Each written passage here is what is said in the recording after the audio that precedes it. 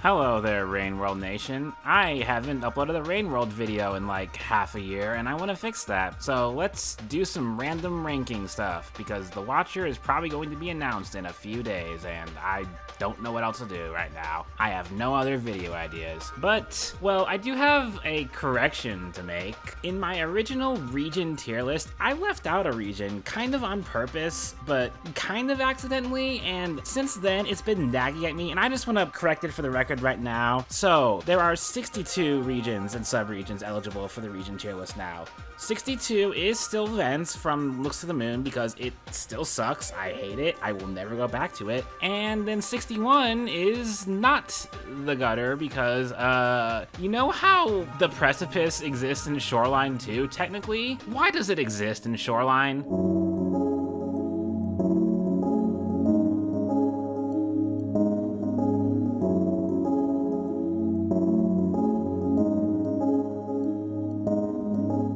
Why is it there? Why is it accessible? Every time I watch someone play the game for the first time and they get to the underhang and they get to that shelter, they see the gate to the precipice, they go through it because it's free, and they spend like half an hour being really confused and doing absolutely nothing and getting annoyed because there's literally nothing to do there. It exists as an Easter egg for people who have already played the game before. I get that. It exists as an Easter egg for people who have played through Artificer Spearmaster's campaign and been through the precipice and now know that it's there. But does it really add enough to justify that? I, I don't think so, no, it doesn't. It's just, it's just really confusing for new players, and there's nothing to it besides like one lizard and one dropwig that sometimes show up. There's no gameplay element, there's no real story reason for it. You could just have the gate there be collapsed like the gates in Saints are. It wouldn't really affect anything. I don't know why it's here. It shouldn't be. I shouldn't have to be re-ranking it because it shouldn't be there. But it's not worse than Vence because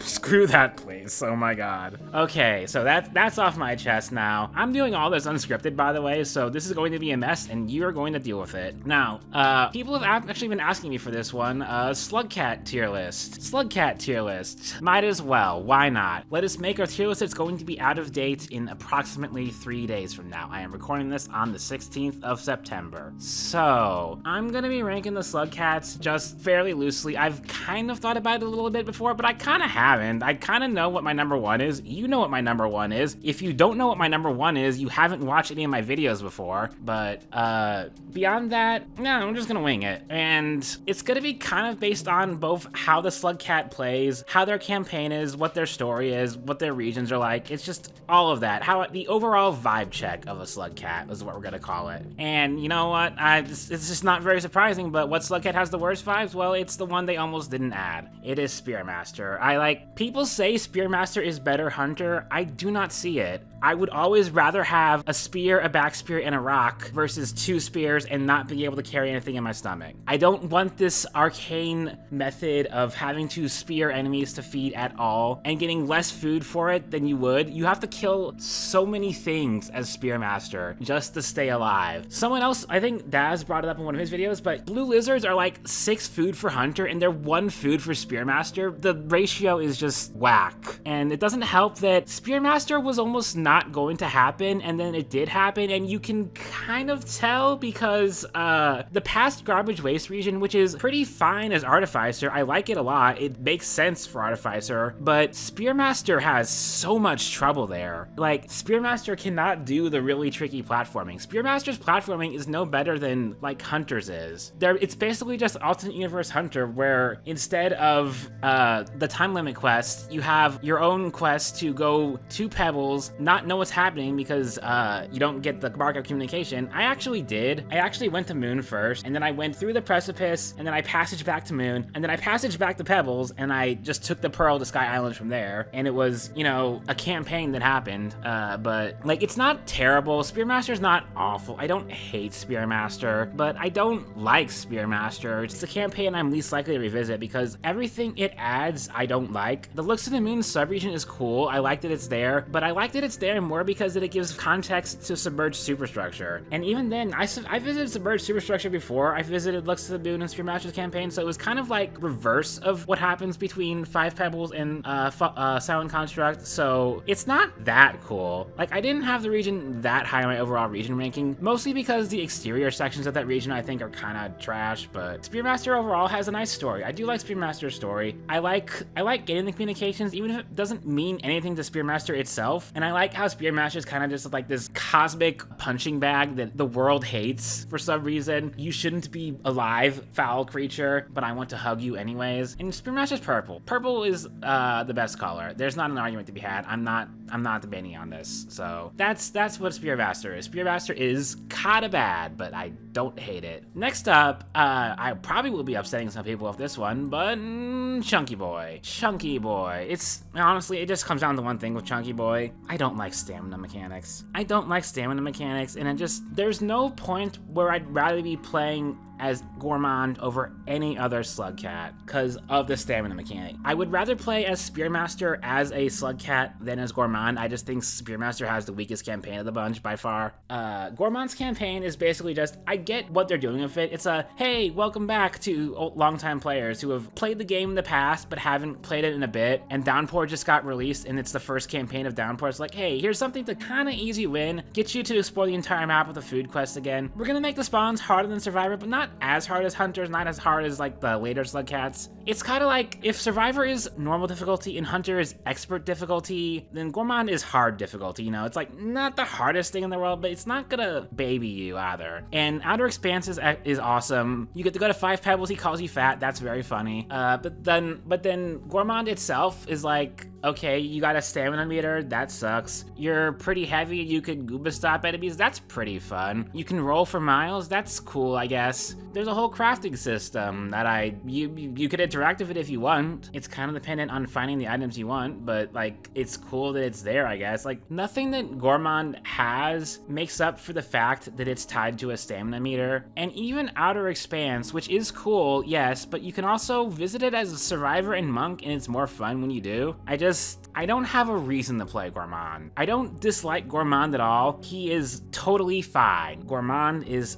fine. I have nothing against Gourmand, but I will never choose to play him. Uh, what's up next, huh? That's actually hard. This might be, uh, normally you'd put Monk here, uh, but I have bias towards Monk for reasons I'll get into later. Uh, there's an obvious top three to me, uh, I think, but, eh, you know what? Uh, sure, Hunter. Hunter might as well be next. The thing about Hunter is, I think as a Slugcat to play, Hunter is my favorite. I like uh, being slightly stronger than Survivor, slightly faster than Survivor. I like the back spear a lot. It is the best expedition perk. Do not fight me on this. That is the best one. I just like always having access to an extra spear. It's great. And then Hunter has a tragic story, which I like, that's also very tied to itself rather than like uh, tied to the iterators or the world. It's kind of like it is a messenger in the same way the Spearmaster is, but Hunter actually has the whole story of like having the rot and having to ascend within 20 cycles before it uh, it just turns into Hunter Longlegs. And that's cool, and it's also on a time limit, and you could lose, and that's very stressful, and I don't like it that much, but I get it. It is an interesting challenge. It is different from all the other campaigns. It's the OG expert mode. It's probably still the hardest campaign just because of that time limit, and there's really not much else to say about Hunter because it's kind of just harder Survivor with harder spawns in a harder world. It's otherwise exactly the same. Like, that's what base game Rain World was. Okay, I can't let my bias carry this uh, boy too much further though. Yeah, Monk's gotta be next. Like, Monk is good. Monk is a nice, easier mode. It's like, if you don't like dealing with the karma system as much, Monk is your boy. He's got lower food requirements. He's got, you know, I think it's like creatures don't notice him as easily, and it's way easier to make friends with lizards and scavengers. And in the base game, uh, Monk had less breath for some reason, which kind of sucked, but uh, you could toggle that in Downpour, so it's not really a big issue anymore.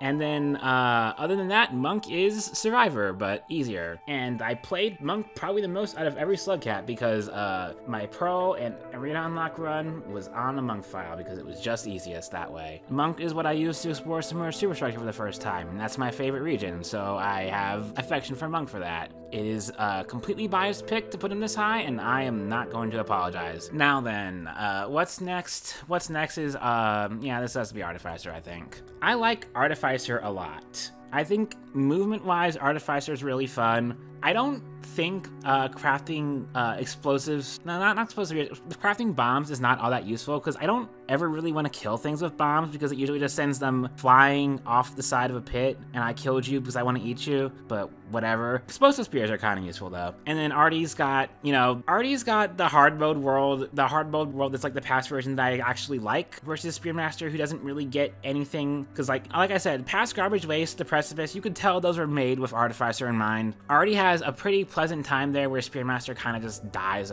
infinitely. And like, fighting scavs is rough, sure, but it gives the campaign flavor, I think. It's interesting. Artie is actually pretty well equipped to fight scavs. I guess a group of scavs is the one place you want to use a bomb just to kill them all before they get to you, so fair enough there. And then being able to double jump all around is fun. Not being able to swim kind of sucks. Artie has probably the shortest campaign of all the Downpour Slugcats if you just go for the normal ending, because you just beeline into Pebbles, go to Metropolis, go through Metropolis, kill the ba the King Scav, and you're done. It's just not much of anything, but it's not not good. But I actually really like our uh, Artificer's other route, where in theory what you're supposed to do, and I've actually watched someone do this, is that you go to Metropolis, you find the Echo there, and you realize, oh wait, Artificer can get Echoes. And the, the Echo's like, hey, what you're doing right now is stop doing that. And you can like go, um, I'm not gonna stop doing this. Or you go, hmm, okay, I will go stop doing this and I will go try to ascend now that I know that I actually can gain Karma. And so that, I think it's a much more interesting campaign that way, even if it's probably not the canon one. Cause it's like, it's a harder version of what Hunter has to do because you have to keep your Karma Flower for the earlier Echoes, but you also don't have the time limit so it's not as stressful. I just like it. I, I, I went back and did it like quite a bit after I'd finished the rest of the game and I just had a pretty good time with it. Even with the scavs, even with the harder spawns, it's, it's an interesting challenge and the ending makes me cry. So, you know, there's that too. I think if I were a slug cat, I would be Artificer because I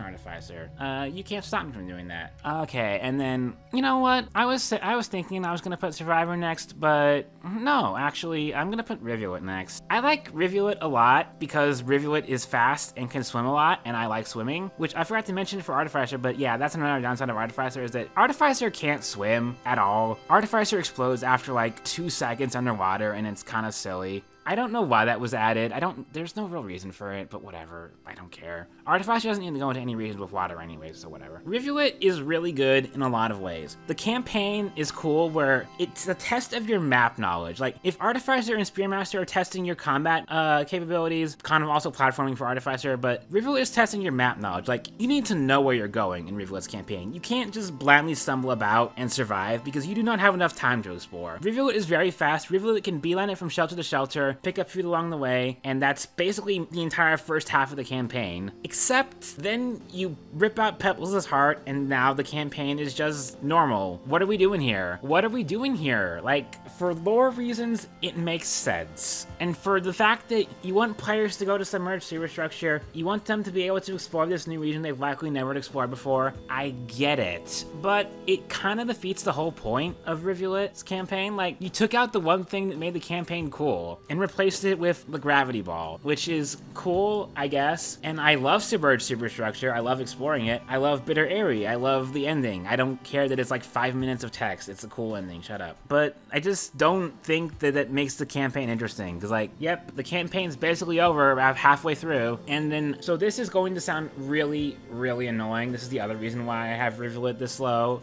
Who is Rivulet? What is Rivulet doing here? Why do I care about Rivulet? Every other slug cat, I understand who they are, what they want, and what they're doing. Spearmaster is a messenger who's like a genetic abomination and life is suffering and it's doing its job. It's just getting through the workday. Just gotta go another day. Gourmand is loves food, is like the scout for the Pebbles facility. Goes in, gets food, eats food, leaves, returns home to its tribe, tells them, hey, don't go there. There's a really angry computer here. Should probably go somewhere else. Hunter's got, you know, I'm literally dying thing going on. Monk is just after his uh, sibling. Survivor is just average Joe. Survivor is your uh, blue collar worker. Yeah. Spearmaster is the white collar worker. Uh, Survivor is blue collar. Artificer is, you know, you killed my family, prepare to die. Saint is on a mystic journey throughout the world to achieve enlightenment and all that. Reveal is just there. Reveal is just sitting around, shows up one day, solves everyone's problems, and then dies, I guess, eventually after spending like 20 years or something with Moon, who knows. And we don't really know anything about it, and that's fine. Like, you don't have to explain it, but it makes Reveal less interesting as a character to me. I, this is, is like a really annoying complaint, I know, but it's just how I feel. And then next up, uh, you know it has to be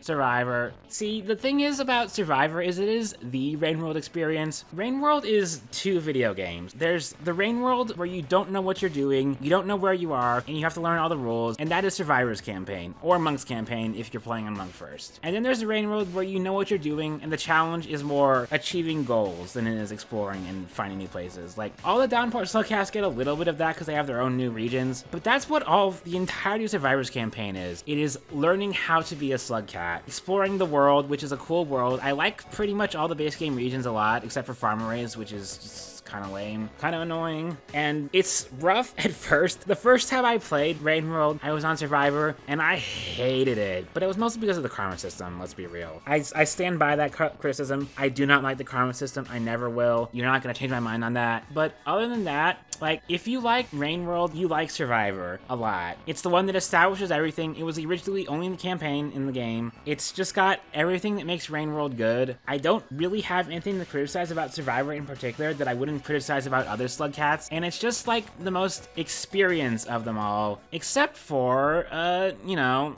the one that I made a whole 52 minute video about. I'm not even gonna explain this one. You don't you don't need an explanation from me. You know why Saint is at the top of this list, and if you don't know and you wanna know, just go watch the video I made. That's that is the answer to your question. We are done here. I am not explaining myself further. Good day, sir. Alright, and the other tier list I wanted to do, honestly the most important tier list anyone can ever do for Rain World, the Lizard tier list. Again, I'm not gonna be, I'm not gonna be like explicitly ranking these ones, I'm just gonna put them in tiers, and I'm probably just gonna go in order. So, uh, starting out, uh, we have the Green Lizard, which is S tier. The Green Lizard makes me want to start a religion. Like, you see the Green Lizard, just this chill dude, laying around, doing nothing all day, dragging its fat butt with its big fat legs, and it is just completely unbothered by the world. Vulture shows up, okay. Every other lizard, every other prey creature inside is gonna scurry away, but the, the, the, the green lizard doesn't care. The green lizard's just gonna sit there and just have a good time. Wormgrass, you know, just every other creature gets freaking swallowed up by it, the wormgrass is not to touch the green lizard. It's just to just walk right through it. The green lizard just simply does not care. It is living its best life, and we should all aspire to be like it. We should all aspire to be as zen as the green lizard. Thank you for coming to my service. Good day. All right, that's that's the important one. The best lizard for sure. Except, uh, is it though? Because you know, the pink lizard's also pretty good too, right? Just your average Joe of lizards, but you know, a little bit better than that implies, because like the pink lizard, nothing special about them. They're the most normal lizard, but they can really sneak up on you, you know? They have really good reflexes, right? People will interact with green lizards and like, they're slow and clumsy and etc. The pink lizard is not messing around though. If you try to jump over that pink lizard, it's gonna snap you up and kill you. It's gonna drag you back to its den, it's gonna have a delicious dinner, it's gonna have a really good day. Just doing its job, not doing an exceptional job, but you know, doing its job, clocking in the hours, uh, but it can surprise you if you're not looking out for it. So that's a, that's why the pink lizard is S tier. But, you know, the blue lizard's pretty awesome too, right? Like, the blue lizard's kind of, you know, the butt monkey of the lizard family. It's a little sky, well, little until uh, strawberry lizard, but we'll get to that later. But also kind of really talented, you know? Like, tries his hardest, really wants to impress you. Like, climbing on walls, stealing uh, your spear with its tongue. It'll literally, like, try to body slam you from the wall it's while walking on, like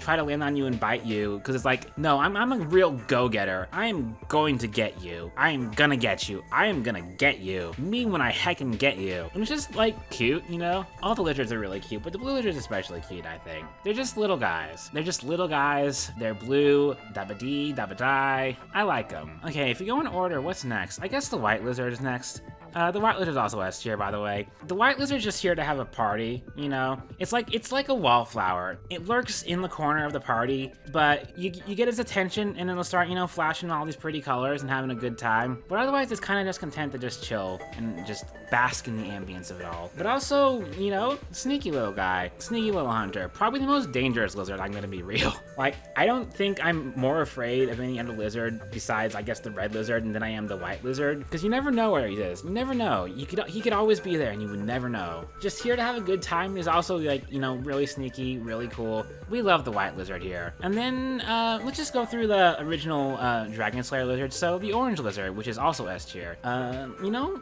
the orange lizard, just wants to be your friend. The orange lizard just wants to have as many friends as possible. Every other lizard will fight with each other, not the orange lizard. The orange lizard is not gonna fight another orange lizard. They are friends. They will hug and kiss and cuddle all day long if you leave them to their own business. But they also work great as a team. They're a real team player. They're really good at communication. They're really good at cooperation. They're not really any more individually talented than the pink lizard, but they work together to become something more. Their friends are their power. They are the Kingdom Hearts lizard. That's what we're here for. The Kingdom Hearts lizard, baby. Also, they have the cute little antenna, and I just love that. They're just so cute. They're so cute, right? They're so cute. Ah, uh, okay. And our other team player-ish, uh, the mole lizard, the black lizard, the lizard sans eyes. He's a real introvert lizard. Like, they hang out in dark places all day. They don't really like each other particularly much, but they don't mind each other. They are they are fine existing within each other, and they have really keen senses to make up for their lack of eyesight. Like, they are really in tune with the world. They know their way around filtration system, which is better than I can say. They blend in real well. You can barely see them unless their heads are flashing. They're a little on the ugly cute side, you know, because they got those weird whiskers. They don't have eyes. They're, they're different lizards, but they're still cute, you know? I think I think they're cute. And now, arguably a lizard because they're not considered one for the Dragon Slayer, but I don't care. Uh, the salamanders. They're just so cute. Look at the little guy. Look at that little guy. Look, look at that. Look at that little guy. He's just so cute. He's really good at swimming. I like swimming. It's talented. So cute. He's just a really cute guy and uh, the salamander's distant cousin, the eel. Kind of like the diet salamander, but also the eel lizard is really reliable, you know? Like, it doesn't excel at one thing like the salamander does. It's kind of a jack of all trades because, you know, it can climb poles, it can climb walls, but that's just really versatile, you know? It is like the only lizard where you can tame it and it can follow you pretty much anywhere. It can follow you underwater, it can follow you across most platforms, it can follow you like through buildings. Like, most other lizards get stuck by one or the other of those. I think the only other lizard who's like really reliable as a tame lizard is the cyan lizard, and even then, the cyan lizards can't swim. So I think the yellow lizards are probably the most reliable in that aspect. And they're just a lovely teal color. Like, they're more green than teal, but they're like a little nicer, bluer than the green lizard, which is not a bad thing, but green is kind of an uncreative color, you know? Just make it a little bit tealer. And that's, that's all I ask for you. And I guess we'll finish off the last base game lizard now, because like, might as well. The cyan lizard is probably my other favorite lizard of the entire bunch, along with the orange lizard, because it's just so cute. Like, they look so different from all the other lizards, but they're also really cute, you know? They're just really pretty. I want to hug one. I want to hug that lizard. I want to hug that lizard real bad. I want to be friends with that lizard. Also, it's really talented, you know? They can jump. They got the big jumps. They got the big jumps. They make the most mistakes out of any other lizard, which is really cute as well. Like, they're clumsy little guys, and they're also really dangerous too, you know? Because, like, they can get you. They can hack and get you. The lizard's gonna hack and get you, but the cyan lizard's gonna hack and get you. And there's nothing you can do about it, really, unless you're, like, a good shot, you know? I think they're really neat. All right, down to three more lizards. Uh, the caramel lizard. Uh, caramel lizard's, like, halfway between a green lizard and a red lizard. Like, it's got the bulk of a green lizard, but it's got the spit of the red lizard, and it's also got, like, big yumps, but, like, really goofy yumps, like, just launching itself forward. The caramel lizard's kind of stupid, but at the same time, it's like, I don't trust caramel lizards, because whenever I'm in a room with one, I don't know what it's gonna do. Sometimes they'll just sit around doing nothing all day. Sometimes they'll just park their fat butts and not do anything, completely ignore me, except for spitting at me because they don't really care that much. And then sometimes they're like faster than red lizards, I swear to God. Like those things can really move if they want to. They are strange ones, but I think that makes them interesting, you know? Also, if I were caramel flavored, I think that'd be just neat. I, I would like to be caramel flavored, I think. Caramel is delicious. You know what else is delicious? Strawberries. Oh, the strawberry lizard, the other butt monkey of the lizard world. Even more so than the blue lizards, because I think even blue lizards will hunt strawberry lizards if I'm not correct. Maybe I'm wrong about that one. The strawberry lizard is so small that it has to hunt bat flies, which is really cute. Like,